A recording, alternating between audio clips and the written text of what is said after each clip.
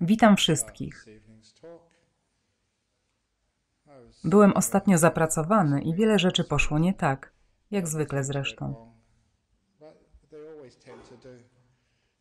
To, że jestem mnichem, nie znaczy, że wszystko mi zawsze wychodzi. Chodzi o zwykłe błahostki, takie jak nieustannie psujący się samochód.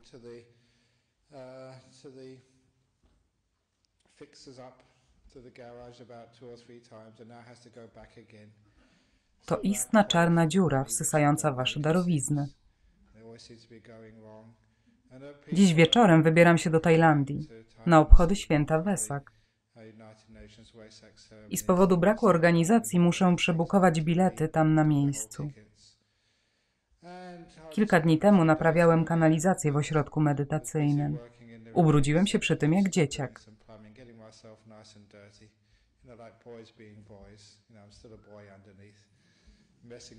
Gdy już wróciłem do klasztoru, odkryłem, że nie ma wody, a chciałem wziąć prysznic.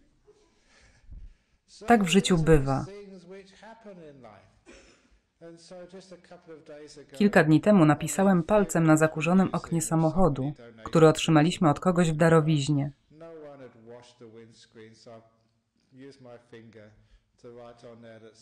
Samsara jest do bani. Samsara to buddyjski termin oznaczający życie. Przyjechaliśmy dziś tym samochodem. Na autostradzie jechaliśmy za taksówką, na której była naklejka. Rozbawiła wszystkich mnichów. Było tam napisane: Jeżeli ktoś mówi, że życie jest do bani, poślij go do. A przecież to właśnie ja zwykłem mówić, że życie jest do bani. Nie mogliśmy odczytać, dokąd mamy go posłać, ale na pewno chodziło o Buddhist Society of Western Australia. Jeżeli ktoś powie, że życie jest do bani, przyślijcie go do nas, bo my to rozumiemy. Tak czasem bywa, prawda? Wszystko układa się nie tak, jak powinno. Dzisiejszy temat to, co zrobić, gdy dzieje się źle. Nie wiem jak wy, ale kiedy byłem młody, próbowałem naprawiać życie. Ciężko pracowałem. Nie tylko nic się nie zmieniało, ale nawet pogarszało. Warto czasem próbować coś naprawić, ale życie chadza własnymi ścieżkami, nie zważając na nas. I czasem zastanawiamy się dlaczego. Jak to w życiu? Raz na wozie, raz pod wozem. Gdy się starzejesz, zaczynasz zauważać, że taka jest istota życia. Buddha uczy tego w pierwszej szlachetnej prawdzie o cierpieniu, ale ja ją nazywam życie jest do bani.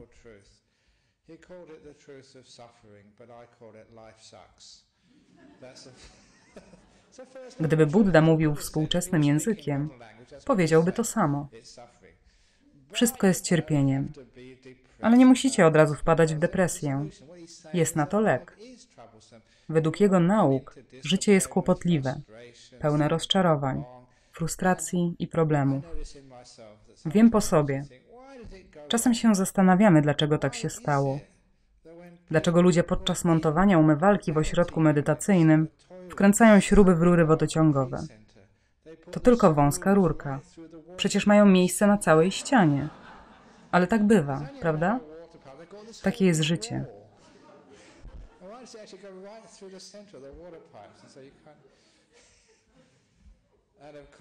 Jeżeli kiedykolwiek budowaliście dom, pewnie mieliście nawet gorsze doświadczenia.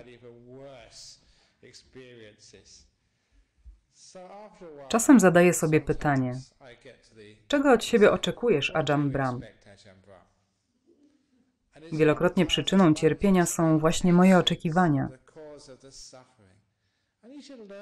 Na pewno wiecie, że dopiero co otworzyliśmy nasz ośrodek medytacyjny.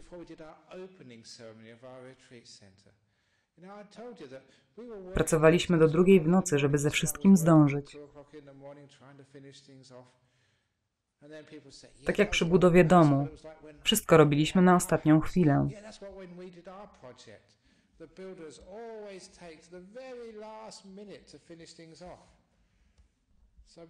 Czego oczekujecie? Powinienem był się tego spodziewać od samego początku. Mówiłem ludziom, że skończymy o północy. I myliłem się, bo była druga nad ranem. Często cierpimy, bo oczekujemy od życia czegoś innego. Kilka lat temu ktoś w Singapurze spytał mnie: Spieszę się na spotkanie. Czy możesz mi szybko powiedzieć, na czym polega życie? What is life in, in brief?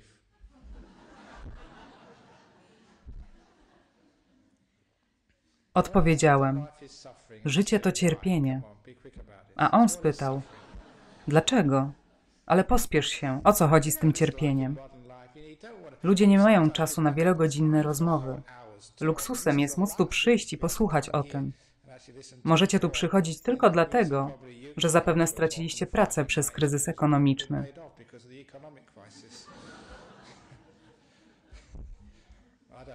Albo pracujecie na pół etatu. Większość ludzi jest bardzo zajęta. Lubię wyzwania, bo mając mało czasu, muszę sięgnąć naprawdę głęboko, aby uzyskać dobrą odpowiedź. Odpowiedziałem tej osobie: Cierpienie to wymaganie od życia tego, czego nigdy nie może nam dać.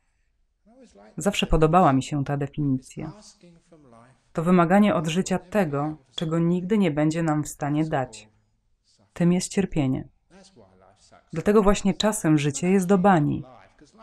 Nie chodzi tu o samo życie, bo ono zawsze takie było, ale o nasze oczekiwania, prośby i pragnienia. want the best retreat center in the whole world. Chcę stworzyć najlepszy ośrodek medytacyjny na świecie.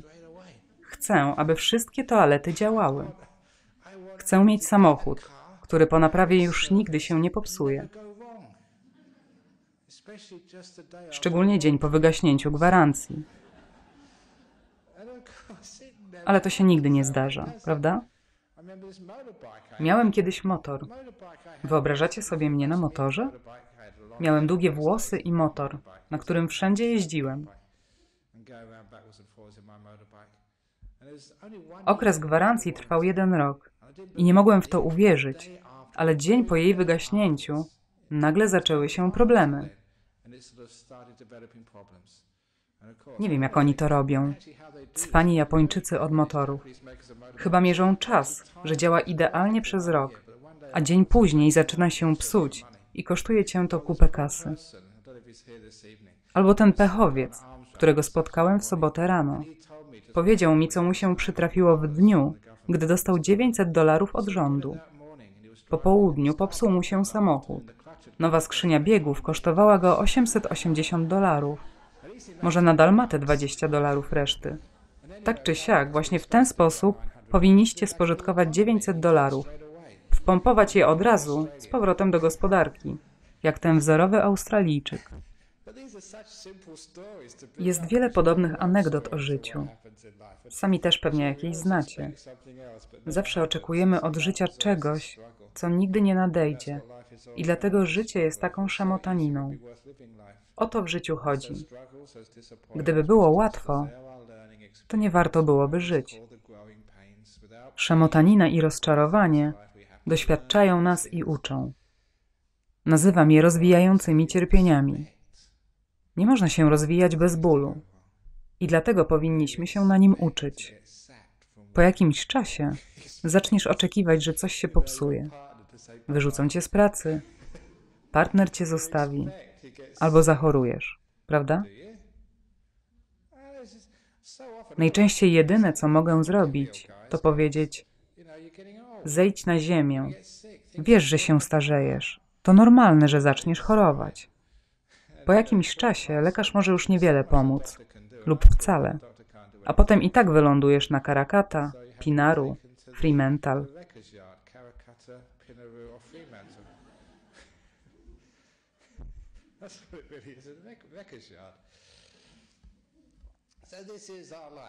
Takie jest życie. Czego chcesz? Pytamy, dlaczego ludzie cierpią, gdy dzieje się źle. Powinniśmy zadać sobie pytanie: co to znaczy, że dzieje się źle? Umieranie to nic złego. Ludzie przewiercający rury wodociągowe to także nic strasznego. Spóźnić się to też nic wielkiego. Nie ma nic złego w tym, że popełniam błędy i mówię głupie kawały. Taki już jestem. Jokes, just who I am. Some Ktoś mi powiedział w ostatnią sobotę ten okropny żart. Nie mogę się powstrzymać, żeby wam nie powtórzyć. Wyjeżdżam wieczorem z kraju, więc zdążę uciec przed falą reperkusji. Przypomniał mi się, bo mówiłem o samochodach i wypadkach. Myszka Miki i Mini miały wypadek. I Mini była poważnie ranna, ale Miki uratował jej życie. Jak to zrobił? Przez reanimację. Jeżeli ktoś chce wyjść, to całkowicie to zrozumiem. Czego oczekujecie w piątkowy wieczór? Przychodzicie tu od lat, znacie moją reputację. Lepiej już nie będzie. Wracając do tego, dlaczego źle się dzieje w życiu, czy naprawdę rozumiemy, jak działa życie? Gdy rozumiemy życie, świat, politykę, policję czy innych ludzi, nasze oczekiwania stają się bardziej realne. Czy moglibyśmy się teraz przenieść w miejsce, gdzie nie ma psów?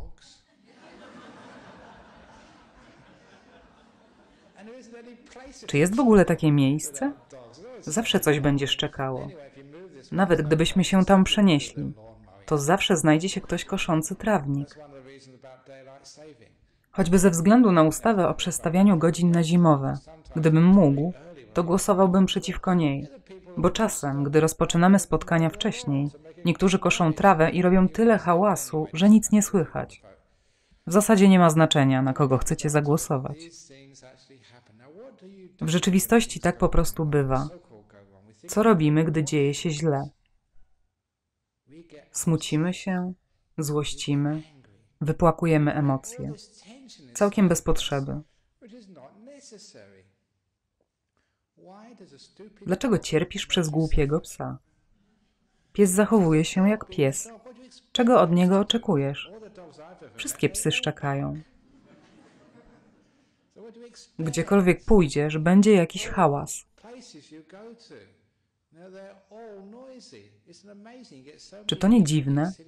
Tylu ludzi siedzi tu cicho, ale zawsze ktoś przyjdzie za wcześnie. Spóźni się albo puści wiatry tuż przed twoim nosem. Zawsze ktoś będzie ci przeszkadzał. I tak w życiu jest. Co teraz się dzieje? Ludzie martwią się świńską grypą. Czego oczekujecie? Na świecie jest tyle robactwa. Poza tym i tak mamy przeludnienie, więc trzeba coś z tym zrobić. Czego się boicie? I tak kiedyś umrzecie. Lepiej umrzeć młodo i nie martwić się o domy starości, kiepską opiekę zdrowotną. To wszystko wiele kosztuje nasze państwo. Umierając młodo, robisz przysługę gospodarce. Why do Dlaczego ludzie mają na tym punkcie taką obsesję? To nic złego. Zawsze była jakaś epidemia. Czarna śmierć, grypa hiszpanka lub SARS. or the sort of s- the influenza in this 1918 or the SARS. But I'm just really Jestem zaskoczony, że ludzie reagują tak nerwowo. Chociażby dziś ktoś zadzwonił z Singapuru, bo chce przyjechać do Perth i zapytał, czy latanie jest bezpieczne, bo tylu ludzi zachorowało na świńską grypę. Podobna rzecz przytrafiła mi się, gdy byłem w Singapurze w czasie epidemii SARS. Już na tamtejszym lotnisku widziałem nagłówki gazet. paper, 100 ofiar.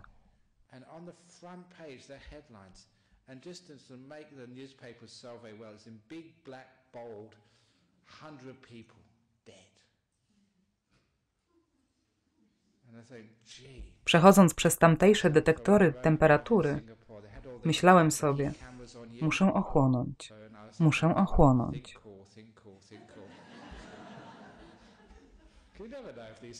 Pewnie jutro będzie tak samo. Moi uczniowie stali na zewnątrz, pytając, Co mamy robić? Co mamy robić? Wynajęli centrum konferencyjne tylko dla mnie. Musiało ich to wiele kosztować. A teraz pytają, czy powinniśmy wszystko odwołać?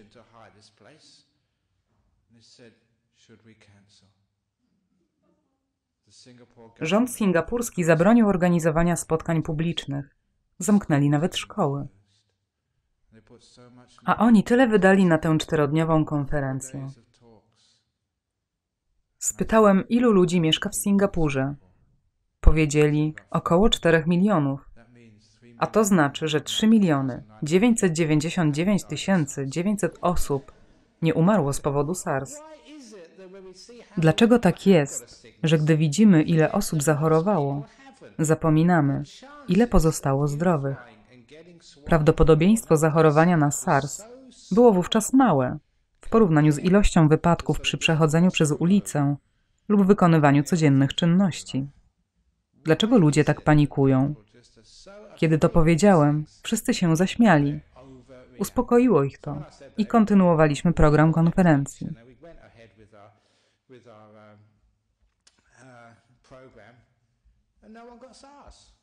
Nikt nie zachorował na SARS. Nikt nie zachorował od momentu, kiedy wylądowaliśmy.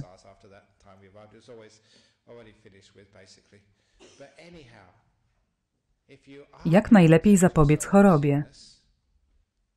Martwiąc się i siedząc w domu? Każdy lekarz wie, że system odpornościowy staje się silniejszy, gdy jesteś szczęśliwy i gdy śmiejesz się z głupich kawałów, jak ten o myszce Miki. Właśnie ulepszyłem wasz system odpornościowy. Czy wiecie, że wiele chorób zaczyna się od problemów układu oddechowego? Śmiejąc się, ćwiczysz płuca i jesteś zdrowszy. Uodparniasz się. Przychodząc na moje spotkanie, poprawiasz swoje samopoczucie i pomagasz sobie.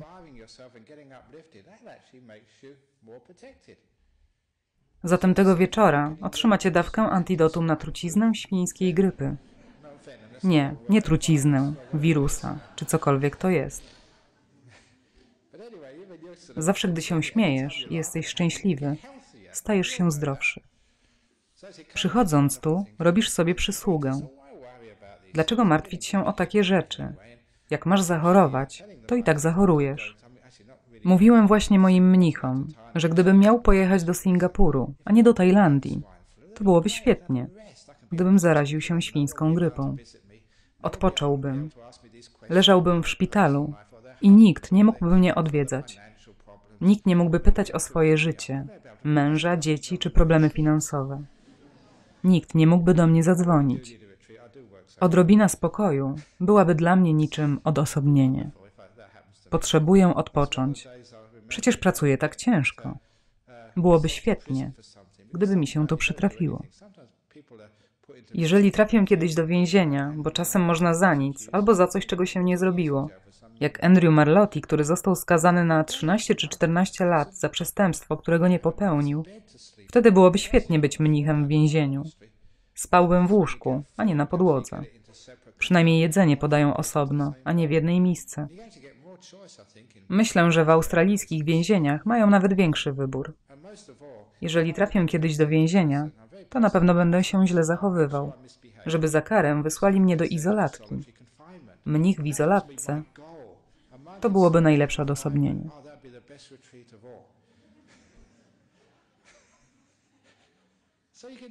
Widzicie? Tak można rozwiązywać problemy w życiu. Nastawienie. Wszyscy chyba wiedzą, życie trudno jest zmienić. Ciężko zmienić innych ludzi, czy nauczyć ich czegoś.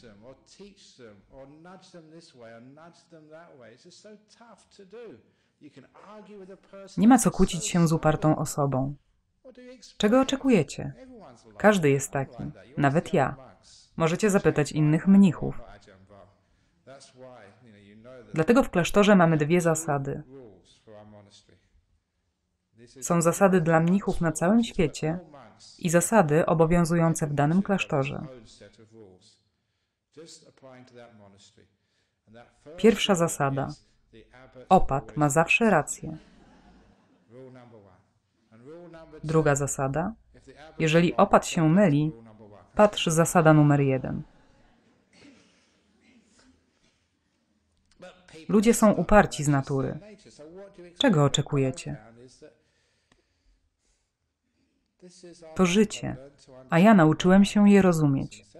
Zamiast walczyć z nim, nauczcie się żyć z nim w harmonii. Akceptujcie ludzi takimi, jacy są. Pięknie jest nie oczekiwać zbyt wiele od ludzi wokół nas. Nie oczekujcie od nich zbyt wiele. Nie oceniajcie ich. Jedynie bez oceniania możecie ich pokochać. you can love them. If you really expect Jeżeli oczekujesz czegoś od partnera, to będziesz miał problematyczny związek. Porównujesz męża do Brada Pitta, a żonę do Angeliny Jolie, bo to ona jest teraz ideałem, prawda? Nie, chwila. Ona się już starzeje.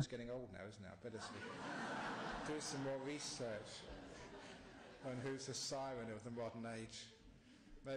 Będę miał czas w samolocie, to poczytam, kto teraz jest ideałem.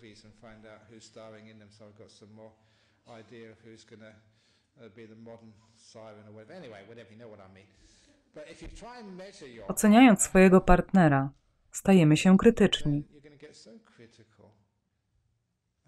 Porównujemy go do gwiazd i oczekujemy czegoś, czego nigdy nie będzie w stanie zrobić. Expecting some out, something out of them they will never be able to supply. People are not like that. Życie to nie film. Gdy nie mamy oczekiwań, możemy kogoś naprawdę pokochać, akceptując go takim, jakim jest.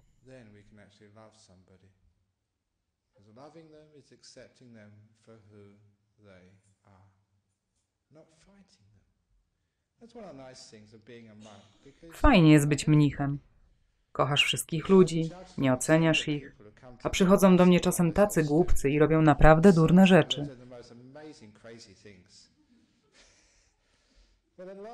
Nie oceniając ludzi, można ich nawet zacząć lubić. Stajesz się wtedy milszy. make much more peace and actually can be much kinder. And this is just with people. Nie oczekuję wiele od mnichów, z którymi mam do czynienia, i wtedy lepiej sobie radzą.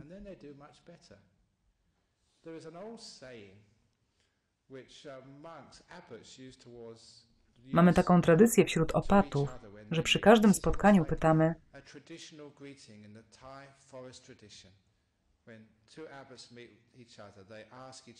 jak się mają twoi mnisi?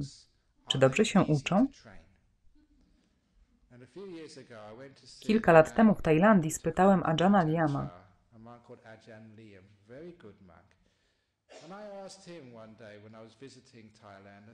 jak się mają twoi mnisi? Czy dobrze się uczą? Oh, A on just odpowiedział, no nie robią all." żadnych problemów. I powiedział to z nonszalancją w głosie. "Well, what's your trick? How do you train Spytałem, jaki monks?" jest jego said, "What's your sekret, training?" He said, a on na "Easy. to. To proste. Pozwól im robić, co chcą. Nie będą sprawiać what? Na pewno to wypróbuję. On był wspaniałym mnichem. Sekret polegał na tym, że nie kontrolował mnichów, a raczej ich zachęcał. I tym powinniśmy kierować się w życiu. Zachęcać, ale nie kontrolować. encouraging life but not controlling things. He was that same monk. Kiedyś zrobił na mnie wielkie wrażenie. Był najstarszym uczniem Ajana Cha i zajmował się nim. Wykonywał różne prace i praktycznie już wtedy był opatem.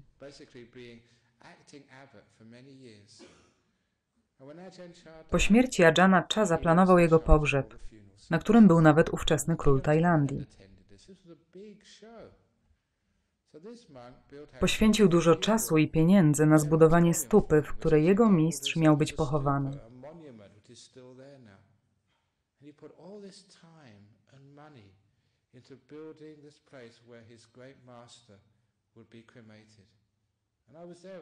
Byłem tam wtedy. Był też Ajahn Jagro, Ajahn Sumeto oraz król Tajlandii. And when they lit Kiedy podłożyli ogień pod stosem, nagle nastąpił wybuch. Wszystko stanęło w płomieniach. Wszyscy biegali w popłochu. Mnisi próbowali ugasić pożar. To była katastrofa. Wiecie, co zrobił Ajan Liam, który był odpowiedzialny za to wszystko? Zamiast umartwiać się, popatrzył na to, co się dzieje i poszedł spać. Pomyślałem wtedy, to dopiero prawdziwy mnich. Chciałbym mieć takie podejście, gdy dzieje się źle. Powiedzieć, ach, nieważne, idę odpocząć. Mógłbyś to zrobić? And he said, "Ah, A skąd? Martwisz się i martwisz, biegając w kółko i pytając, co mogę zrobić, jak to naprawić. A on po prostu powiedział, nieważne. Zrobił to, co mógł. Jeżeli nie skremują mistrza dziś, to zrobią to jutro. Tak powinieneś reagować, gdy dzieje się źle. Nie możesz czegoś naprawić? Napij się herbaty. Idź spać. Cokolwiek by się działo. Wielcy ludzie tak potrafią. Przypomniał mi się wiersz, 40 years który przeczytałem po raz pierwszy jakieś 40 lat temu. Łatwo być szczęśliwym, gdy jesteś na fali, ale nieoceniony jest ten, który uśmiecha się, gdy wszystko się wali. It's all wrong. Can you do that? Czy potrafisz tak? Na pewno znacie Damanandę. Kilka jego książek jest tu w bibliotece. Czasem łatwo jest napisać książkę, ale czy jesteś w stanie żyć zgodnie z tym, co napisałeś? W jego dorobku znajduje się ciekawa opowieść o tym, jak zdiagnozowano u niego raka, a on zaczął się śmiać.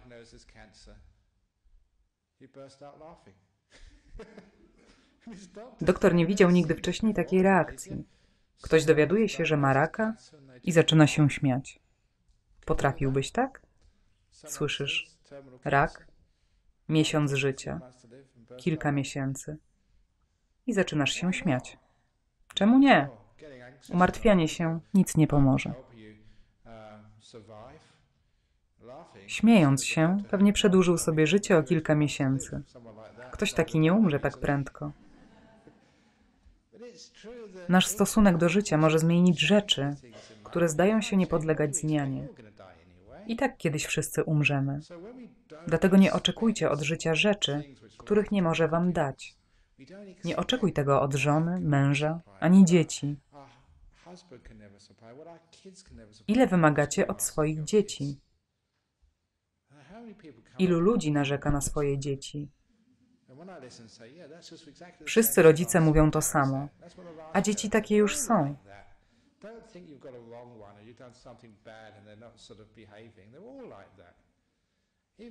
Czytałem niedawno o tym, jak ciężko jest obudzić dziecko do szkoły.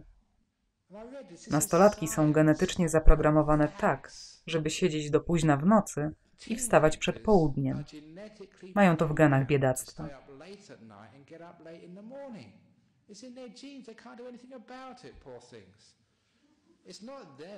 Problemem są lekcje, które powinny zaczynać się później. O której zaczynają się zwykle lekcje? Ósma? Dziewiąta? Biedne nastolatki wstają za wcześnie i nie są gotowe, by zacząć dzień tak wcześnie, bo nie spały do późna w nocy. Żal mi ich. Czy oczekujecie, że będą sobie dobrze radziły w szkole? Mówiłem ostatnio moim mnichom o tym, jakie mamy zawyżone oczekiwania. Pokażę wam sztuczkę, która udowodni, w jak urojonym świecie żyjemy.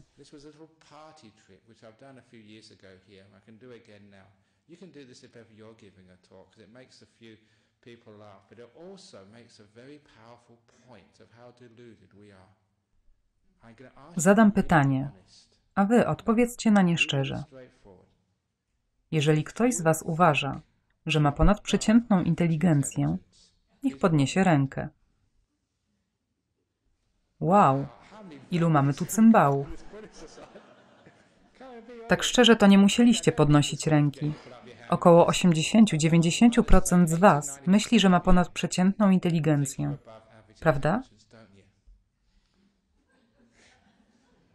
Only Tylko połowa z was ma ponadprzeciętną inteligencję, bo tylko połowa może ją mieć. 50% of people Zawsze myślimy, że jesteśmy inteligentniejsi niż inni ludzie. To iluzja, w której żyjemy. Wielu z Was było tu nieraz i wiecie, że jak mówię, żeby podnieść rękę, to pewnie Was to wpakuje w kłopoty.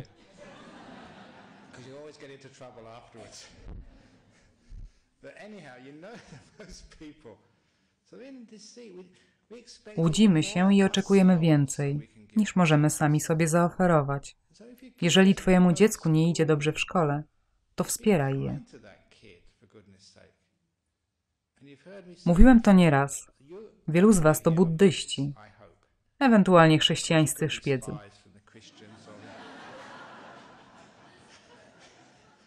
undercover agents. But about- Co jest najważniejszą nauką dla buddysty? Każdy, kto jest buddystą i ma dziecko, które jest jednym z najlepszych lub najgorszych uczniów w szkole, jest złym buddystą. 5% at school, you're bad Buddhists. That's not a good Buddhist family. Top 5%, bottom 5%, that's not good. Because in Buddhism, Ponieważ w buddyzmie wierzymy w drogę środka. and actually it's much better as a kid. Lepiej, gdy dziecko jest przeciętnym uczniem. Wówczas nie czuje presji związanej z byciem najlepszym. Gdy jesteś najgorszy, też masz problemy. To nic, jeśli twoje dziecko jest słabym uczniem. Miej w pamięci tę opowieść. Jest to historia o chłopcu, który jest moim bohaterem. Działo się to w Tajlandii. Ten chłopak nie zdał w pierwszej klasie. Jak można nie zdać?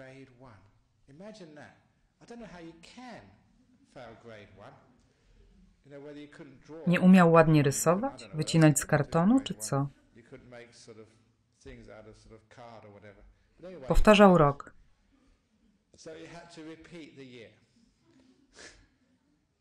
Nauczyciel poświęcał mu więcej czasu, a on nadal nie mógł zdać. Powtarzał klasę po raz trzeci.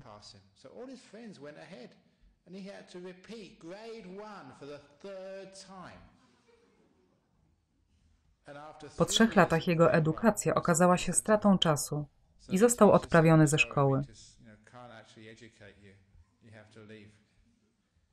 imagine Wyobrażacie sobie, jak to jest nie zaliczyć pierwszej klasy? Powtarzanie roku na studiach to co innego, ale pierwsza klasa to się nie mieści w głowie. Co zrobić z takim dzieckiem? W Tajlandii wysyłają takich do klasztoru, żeby zrobić z nich mnichów. Nie każdy mnich tak zaczyna. Opat klasztoru, do którego ten chłopiec został wysłany, był bardzo cierpliwy.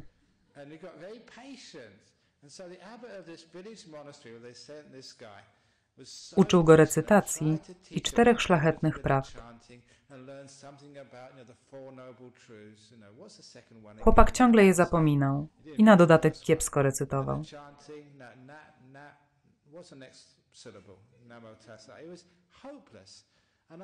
W końcu, po trzech latach, ten mnich też się poddał.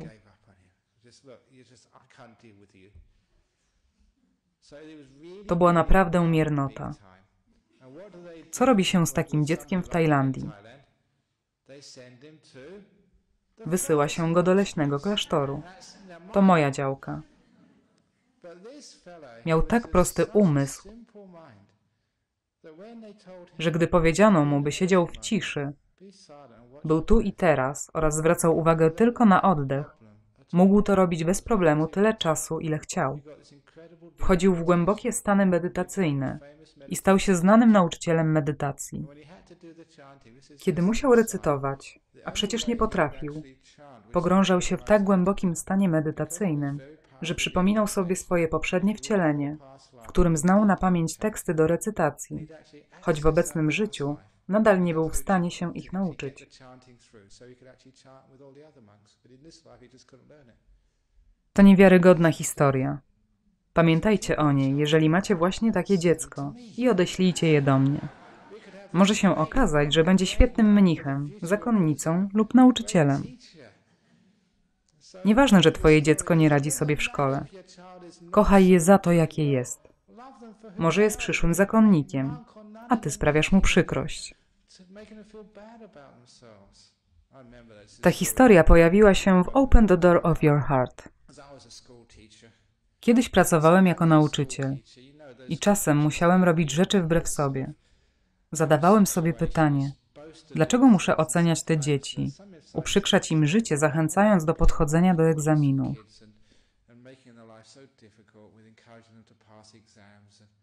Dylemat w pracy nauczyciela polega na tym, że masz swoje zdanie na temat tego, jak powinno się uczyć, a z drugiej strony są wymagania systemu. Posłusznie organizowałem egzaminy, a pod koniec roku rozdawałem świadectwa. Pamiętam tego biednego chłopca, który był najgorszy w 30-osobowej klasie.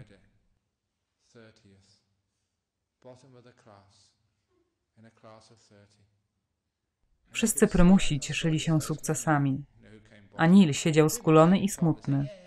Naprawdę cierpiał.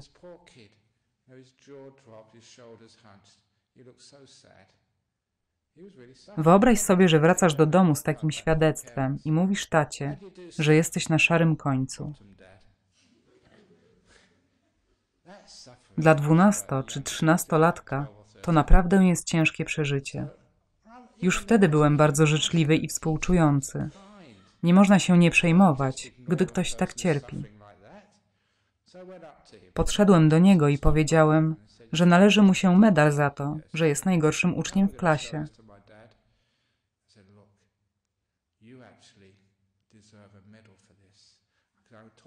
Powiedziałem mu, że jest jak bodhisatta, osoba poświęcająca się dla dobra innych. Bodhisatta czasem poświęca całe swoje życie dla dobra innych. Jesteś najgorszy w klasie, aby uchronić kolegów od bycia w tak okropnej sytuacji. Postąpiłeś bardzo bezinteresownie, w przeciwieństwie do tych arogantów, którzy chcieli być najlepsi. Przyjąłeś cierpienie na siebie, aby inni nie musieli cierpieć. Jesteś wspaniałą osobą. W buddyzmie doceniamy właśnie takie osoby.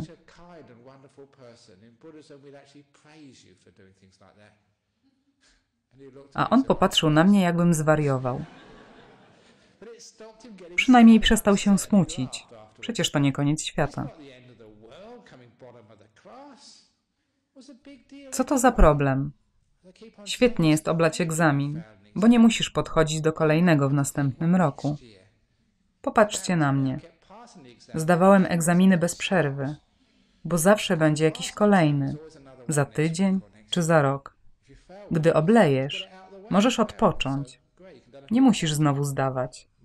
W życiu są ważniejsze rzeczy niż egzaminy. Tak czy siak, problemem jest stosunek do bycia najlepszym lub najgorszym. Problemem jest stosunek do życia, a nie świat.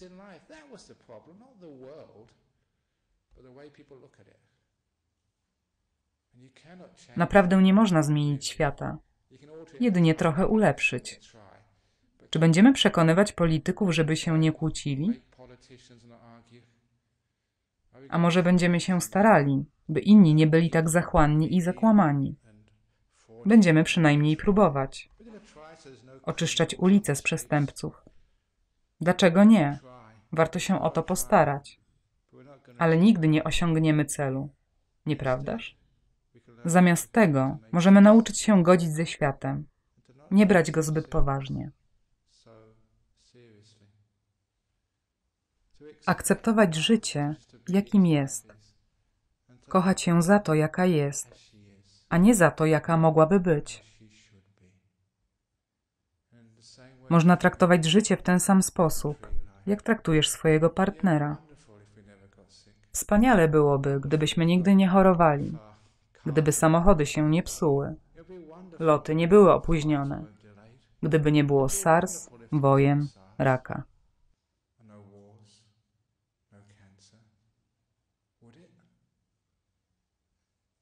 Czasem zadajemy sobie pytanie, czy nie byłoby wówczas wspaniale, gdyby tych rzeczy nie było?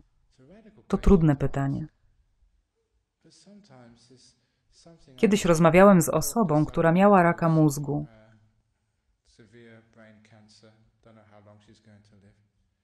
Powiedziała mi, że to wspaniale być w centrum zainteresowania. Rodzina i przyjaciele mówią ci, jak wiele dla nich znaczysz.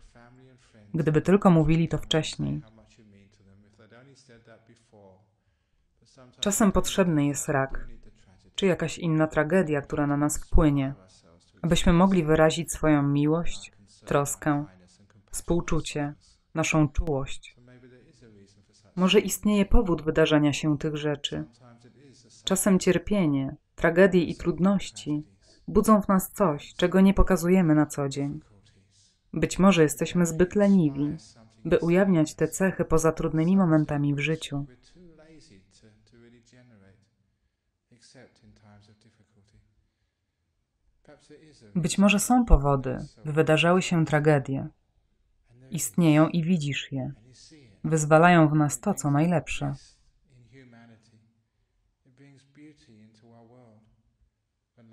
To dodaje piękna naszemu światu i życie płynie wtedy w równowadze, budząc i wspierając najpiękniejszą część naszego człowieczeństwa. Kiedy zmienia się klimat, kiedy nadchodzi kryzys ekonomiczny, jednym słowem, kiedy źle się dzieje, to jednocześnie dzieje się dobrze. Zawsze znajdą się jakieś plusy. Nigdy nie jest wyłącznie źle. Zawsze znajdą się dobrzy ludzie o pięknych sercach. Nigdy nie ma tego złego, co by na dobre nie wyszło. To dziwne uczucie, kiedy tam jesteś i widzisz, jak to się dzieje na Twoich oczach. about a person who was in Dawno temu czytałem książkę o osobie, która była w obozie w Oświęcimiu. Mogłem tylko próbować wyobrazić sobie to straszne miejsce. A autor napisał: Nadal żartowaliśmy, śmialiśmy się, spędzaliśmy razem wiele wspaniałych dni. Kiedy to przeczytałem, nie mogłem uwierzyć, jak to możliwe. Jak możesz tak myśleć, skoro znajomi i przyjaciele codziennie umierają? Ludzka natura jest zadziwiająca.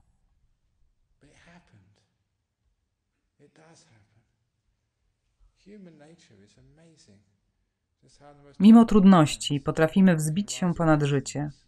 Życie jest do bani, ale ludzie nie muszą tacy być. Nasze nastawienie nie musi być do bani. Nie zmienimy świata, ale możemy zmienić siebie i nasze podejście do życia. Można być tą wartościową osobą, która uśmiechnie się, gdy wszystko się wali. Można być mniej wymagającym wobec życia i nie myśleć, że tylko politycy popełniają błędy, a bankierzy są chciwi.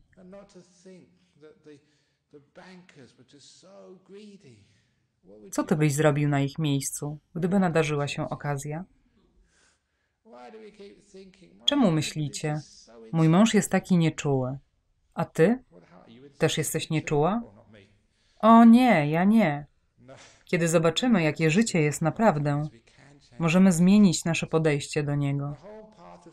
Duchowość to stawanie się mądrzejszym, bardziej wyrozumiałym, kochającym życie, ludzi oraz kochającym różnice między nimi.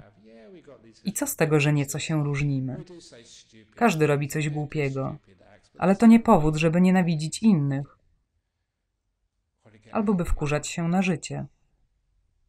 Nauczono mnie, że nikt nie może cię wyprowadzić z równowagi, No poza tobą samym. Nikt nie może zmusić cię do nienawiści. Sam pozwalasz na to, aby inni cię denerwowali, aby pies przeszkadzał w medytacji, mąż psuł małżeństwo, aby telefon przerywał to wspaniałe spotkanie.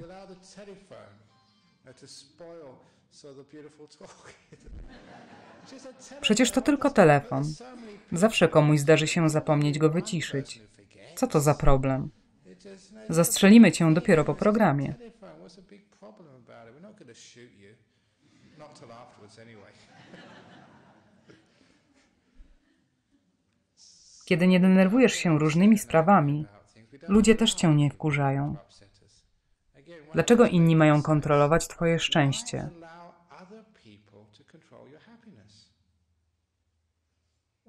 denerwować cię. Niech mówią i robią co chcą. Nie zdenerwuje mnie to, bo to on jest głupi, nie ja. Dlaczego inni mają cię kontrolować? Posunę się nieco dalej. Dlaczego życie ma wpływać na twoje szczęście? Rozpoznanie. Rak. Śmiertelny. Śmiej się. Czemu nie? Potrafiłbyś?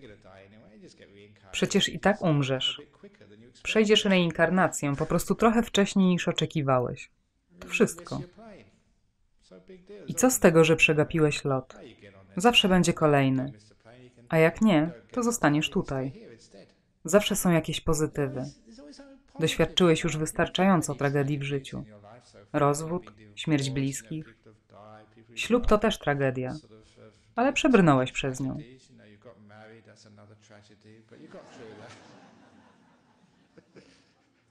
Z czego się śmiejecie? To wasze tragedie, a jakoś przez nie przeszliście. Ciągle są jakieś nieszczęścia i problemy, a my czasem przesadzamy. Świńska grypa, rak, rozwód. Wielkie mi co. big deal. Czy potrafiłbyś się tak zachować?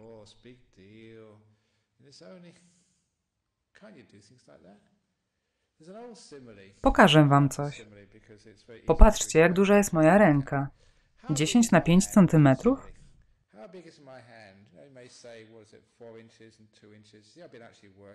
Ćwiczyłem ostatnio czyszcząc dach i kopiąc rowy.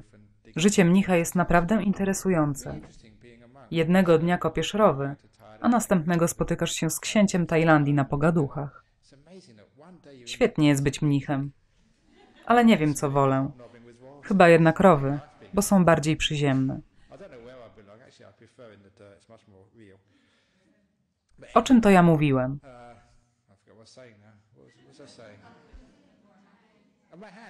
O you. ręce, racja. Widzicie, też czasem popełniam błędy i gadam bzdury. Jeżeli to przytrafi się tobie i ludzie zaczną się śmiać, śmiej się z nimi. Wówczas świat nie będzie śmiał się z ciebie, a z tobą. And then the world never laughs at you, it only laughs with you. Simple Każdy popełnia błędy i robi głupie rzeczy. Moje wystąpienia też bywają głupie. Co więcej, możecie potem obejrzeć nagrane wpadki Ajana Brahma.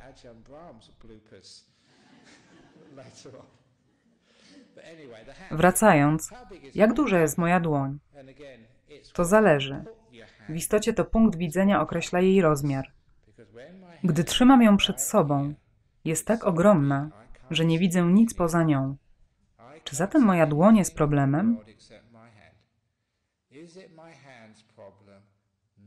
Nie. Problemem jest punkt odniesienia. Jest zbyt blisko mnie lub za daleko. Gdy jest na swoim miejscu obok mnie, to widzę zarówno rękę, jak i każdego z was. To perspektywa jest problemem. Śmierć. Umieram. Nie śmierć jest problemem, tylko twoje nastawienie. Umierasz jak każdy z nas. Co jeszcze? Zdystansuj się do tego. To nie najważniejsza rzecz. Świńska grypa. Nie widzę nic poza nią. Czy powinienem dziś w ogóle podróżować? Nie powinienem lecieć do Tajlandii, bo się zarażę. Zdystansuj się. Szanse, że zachorujesz są niewielkie. Rozwód, śmierć, utrata pracy, zmiany klimatyczne. Wyobraź sobie, jakie czekają cię nieszczęścia.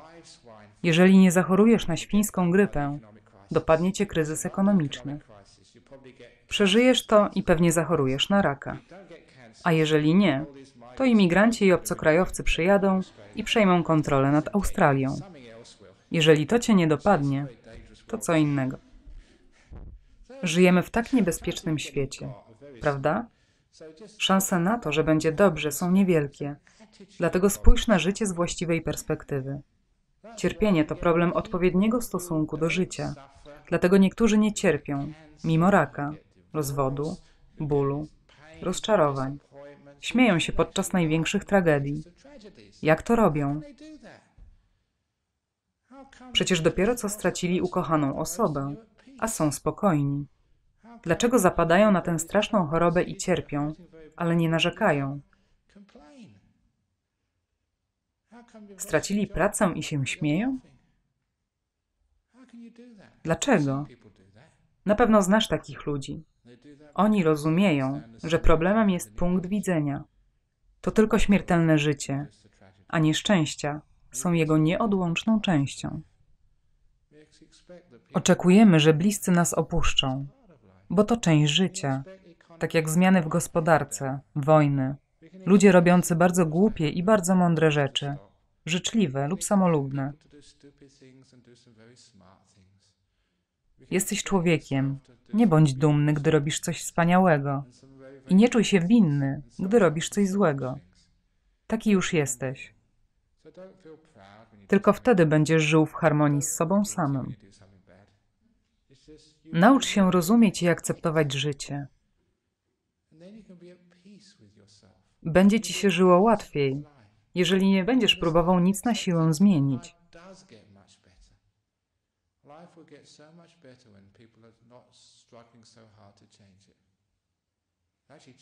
Właściwie to staramy się zmieniać coś, czego się nie da. Powinni się zmieniać ludzie, a nie rzeczy. Powinniśmy być życzliwi dla innych, a wówczas ludzie będą bardziej wyrozumiali dla siebie. Skupmy się na rozwoju wewnętrznym, zamiast na rzeczach materialnych. and the inner we- wealth. Szukajmy równowagi, wewnętrznego szczęścia i umiejętności cieszenia się z prostych rzeczy.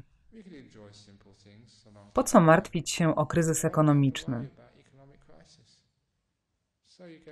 Zwolnili cię. To świetnie. Możesz się w końcu wyspać do późna w poniedziałek. Nie musisz iść do pracy. Nie masz pieniędzy. to nie musisz się martwić o zakupy, bo i tak cię na to nie stać.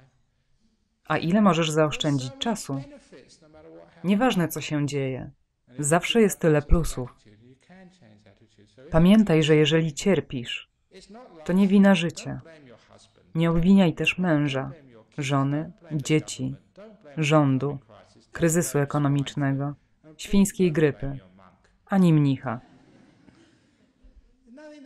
Problemem jest Twoje nastawienie. Czego oczekujesz? Obniż poprzeczkę oczekiwań. Dostosuj ją do tego, jakie jest życie. Wtedy będziesz mógł je pokochać. Bezwarunkowo. Pięknie to brzmi. Bezwarunkowa miłość. Kochanie życia takim, jakim jest. Kochaj bezwarunkowo partnera i siebie. Chociaż czasem jesteś głupi. Czasem mądry. Bywa, że mówisz głupoty. Czasem jesteś leniwy. Czasem nie. Kochaj siebie za to, jaki jesteś.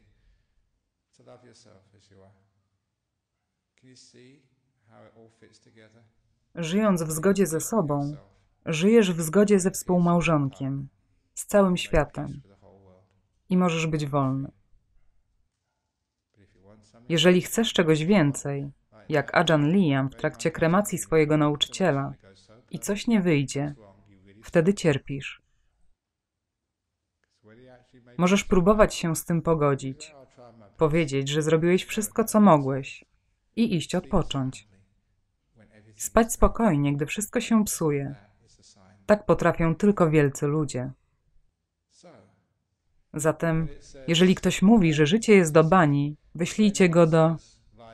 Na pewno chodzi o piątkowy wieczór w Damaloka Buddhist Center.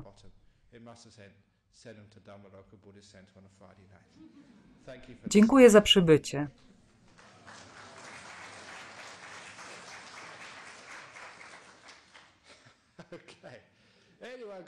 Czy ktoś ma jakieś pytania, sugestie lub uwagi?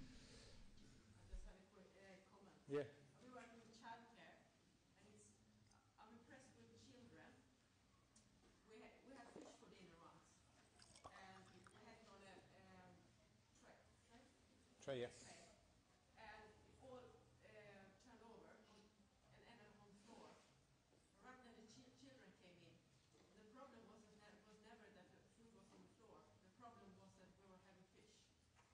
Okay. So the children seem to have an view of it. They don't, they don't create the problems that we create. Yeah. Gdy opiekowaliśmy się dziećmi, miały być ryby na obiad, ale spadły na ziemię. Wszyscy biegali dookoła. Ach, ryba jest na podłodze. Dla dzieci było problemem tylko to, że miały jeść rybę, a nie to, że jest na ziemi.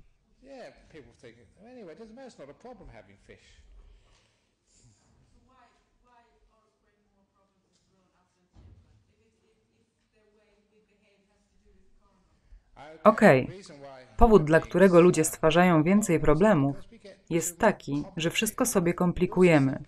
Tracimy prostotę życia. Ludzie za dużo myślą. Wprawdzie jesteśmy uwarunkowani, by narzekać, szukać dziury w całym, nieustannie kogoś winić i doszukiwać się usterek. To jest coś, co nazywamy postawą szefa. Bo kim jest szef? Ma za zadanie znaleźć niedociągnięcia i je naprawić. Zatem zwykle poszukujemy usterek. Szukamy wad w naszym partnerze. Nie możemy znaleźć idealnego, ponieważ ideał nie istnieje. Uwierzcie mi. Chcemy też znaleźć idealną grupę ludzi, na przykład grupę medytacyjną, aby móc uczęszczać na spotkania. Przychodzicie też tutaj, ale po jakimś czasie myślicie: Nie, nie podoba mi się to już, nie jest idealne. I idziecie do kościoła obok, a potem do meczetu, do synagogi i tak dalej. Nie uważacie tego, co znaleźliście, za wystarczająco dobre. Nie jesteśmy wystarczająco idealni. Wszyscy znajdujemy w sobie niedoskonałości. To jest najgorsze, bo w ten sposób nigdy nie będziemy w harmonii ze sobą. Zawsze będzie coś do naprawienia. Jesteśmy szefami naszego życia. Tak zostaliśmy ukształtowani. Oczywiście jest czas, aby być dla siebie szefem, ale jest też czas, aby być doceniaczem. Kolejna z historyjek. Ogólnie pracuję bardzo ciężko. W weekendy przychodzę tu, aby nauczać, więc tyram 365 dni w roku. Choć przyznaję, że biorę dwa tygodnie wolnego w porze deszczowej. Jakiś czas temu coś sobie postanowiłem, ponieważ za każdym razem, kiedy wracałem do mojego klasztoru, w pierwszych latach bycia opatem, patrzyłem na wszystkie rzeczy, które są wadliwe, które trzeba było zrobić albo naprawić, wszystkie rynny, które trzeba było oczyścić, wszystkie drogi, które trzeba było pozamiatać, wszystkie budynki, w których trzeba było coś naprawić i wszystkie rzeczy, które trzeba było ulepszyć. Zdałem sobie sprawę, że wciąż szukam dziury w całym. Inni przyjeżdżają do klasztoru Bodhiniana i czasem mówią, że jest to przepiękny klasztor. Wspaniały. A ja ze zdziwieniem mówię, czy widzicie wszystkie liście, które leżą na ścieżkach, które muszą zostać pozamiatane? A wszystkie rynny, które są pełne? Wszystkie rzeczy, które się sypią? Zdałem sobie sprawę, że widzą oni coś, czego ja sam nie byłem w stanie dostrzec. Żyłem w tym miejscu, byłem opatem tego klasztoru, więc nie dostrzegałem tego, co widzieli goście. Nie doceniałem jego piękna. Mogłem natomiast wskazać wszystko to, co trzeba było naprawić. Więc w każdy poniedziałek rano, już od kilku lat, realizuję postanowienie. W poniedziałek rano nie jestem opatem, jestem gościem. Przechadzam się po klasztorze i próbuję dostrzec to, co wy widzicie, czyli piękno i wszystkie wspaniałości, a nie to, co wymaga naprawy. Przestaję szukać dziury w całym i zaczynam doceniać. To jest takie niewielkie ćwiczenie, które praktykuję od kilku lat. Gdy patrzysz na swojego partnera lub matkę, swojego brata, swojego psa, nawet gdy patrzysz na swój dom, zawsze widzisz rzeczy, które trzeba naprawić. Zacznij doceniać, że masz wspaniały dom, miłe, małe, przytulne miejsce, do którego możesz wracać. Masz dobrego przyjaciela, partnera. Tak, nie są najlepsi, ale wiesz, że są wystarczająco dobrzy, dają radę. I spoglądasz na siebie i mówisz: Nie jestem najlepszy. Jestem głupi i robię czasem szalone rzeczy. Nagromadziłem wiele niezdrowej kamy w swoim życiu, ale jestem w porządku. Jest to ten rodzaj wspaniałego, bezwarunkowego doceniania siebie. Kiedy zacząłem nauczać, chciałem wszystkich doprowadzić do oświecenia. Dawno temu zrezygnowałem z tego pomysłu. Teraz po prostu kocham ludzi takimi, jakimi są. Innymi słowy, dajesz sobie bezwarunkową akceptację. Nie szukasz już w sobie wad. Są momenty, gdy warto szukać błędów, gdy jesteś opatem, ale przez większość czasu bądź po prostu gościem. Więc nie bądź szefem swojego życia, bądź przyjacielem swojego życia. Można tak zrobić dzięki bezwarunkowej akceptacji i miłości. Dzieci są w tym dobre. Okej, dziękuję za to pytanie. Teraz możemy rozpocząć blok reklamowy.